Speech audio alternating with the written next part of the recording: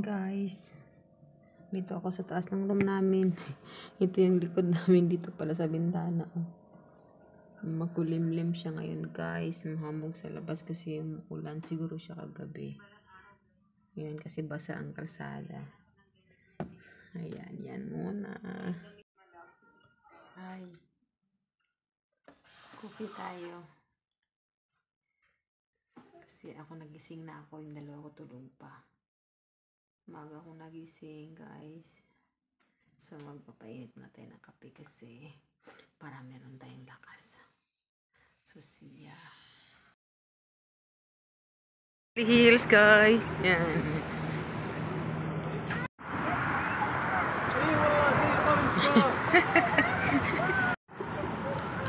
Beverly Centers, guys. Yan.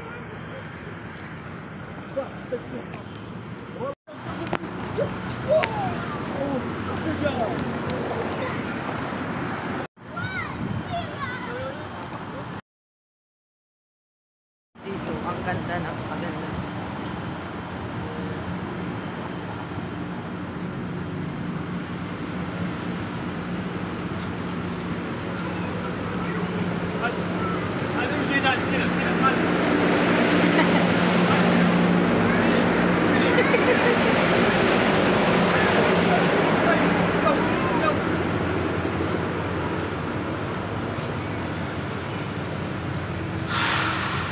Yan, Beverly Centers. Dito kami sa baba. Parking lot.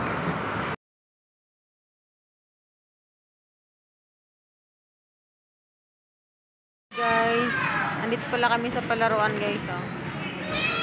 Yan, ng mga bata. Ang cute niya. Malaking pwesto din siya guys. Undersea ang pangalan ng indoor playground nila yan. Soli, you want to pee? Shh! Soli! Soli, you want to pee? Ha? Guys, nakaikot kami dito ngayon. Yan.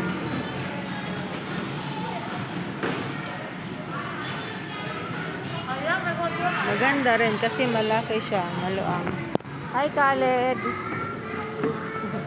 Yung isa namin nandoon sa dulo yun.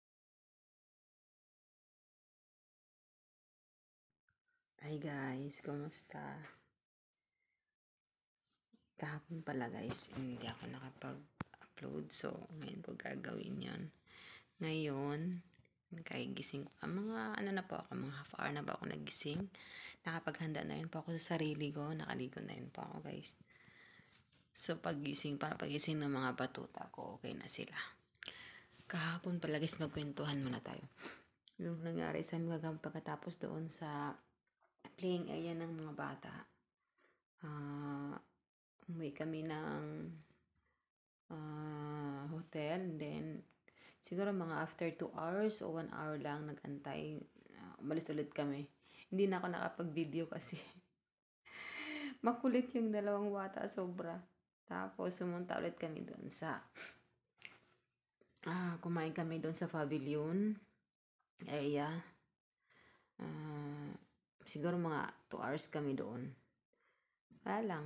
Nagkapi lang sila doon. Kaming, kami ng mga bata kumain. Ang in-order ko is yung uh, smoked salmon na may jarjir. Tapos yung sa hati kami doon ni Khaled kasi marami eh. Tapos si Sulaiman naman ang kinain niya is yung ano uh,